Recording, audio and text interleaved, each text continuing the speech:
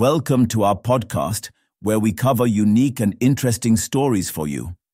In this episode, we will discuss SpaceX's Fram 2 to launch first human flight over Earth's poles.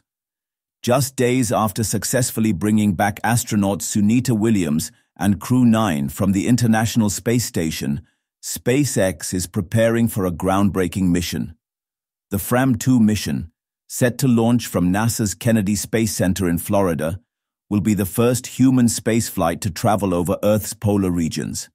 A Falcon 9 rocket will carry the Crew Dragon capsule, which will host four international astronauts on an unprecedented journey. The mission's crew is made up of first-time space travelers led by Chun Wang, Malta, Mission Commander Jannicke Mikkelsen, Norway, Vehicle Commander Rabea Rogge, Germany, Mission Pilot, Eric Phillips, Australia, Mission Medical Officer. Inspired by the Norwegian exploration vessel Fram, which ventured into the Arctic and Antarctic in the 19th century, the team aims to push new frontiers in human spaceflight.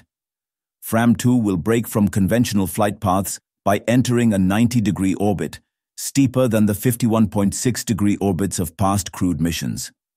Over a three to five day journey, the astronauts will conduct 22 cutting-edge experiments on spaceflight and human biology. Among the key objectives, first ever X-ray imaging of humans in space, growing mushrooms in microgravity for potential Mars missions, studying strong, thermal emission velocity enhancements, a mysterious polar light phenomenon. The mission will also feature the Fram 2HAM competition, allowing amateur radio operators worldwide to decode images sent from space. FRAM-2 joins a series of private space missions led by SpaceX.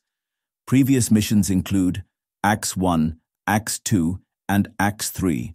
Organized by Axiom Space, these missions carried private astronauts to the International Space Station. Inspiration 1 and 2 These free-flying missions saw private astronauts perform assisted spacewalks in Earth's orbit.